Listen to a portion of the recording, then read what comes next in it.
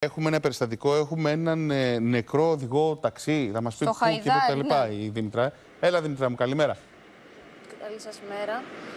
Ε, στο Χαϊδάρ λοιπόν χθες βρέθηκε ένας ε, ταξιτζής ε, νεκρός, ε, συγκεκριμένα επί της ε, οδού Ηρών ε, Πολυτεχνείου, κοντά στο αθλητικό κέντρο του δάσους ε, Χαϊδαρίου. Α, πρόκειται για έναν ε, άνδρα 51 ετών. Είναι σε εξέλιξη η έρευνα της αστυνομίας για τις ακριβείς ε, συνθήκες κάτω από τις οποίες ε, έχασε ο άνδρας ε, τη ζωή του. Σύμφωνα με τις πρώτες εκτιμήσεις της αστυνομίας, ε, ίσως να έπεσε θύμα ληστείας καθώς δεν βρέθηκαν ε, στο, δε- χρήματα Ναι, στο ναι. Όχημά του, ε, παρά μόνο το κινητό του. Ε, να σας πω ότι ο άνδρας, ε, δίπλα στον άνδρα βρέθηκε ένα εισπνεόμενο φάρμακο. Α, δεν είχε εξωτερικές κακώσεις, οπότε σε περίπτωση ληστείας ε, δεν τον α, χτύπησαν.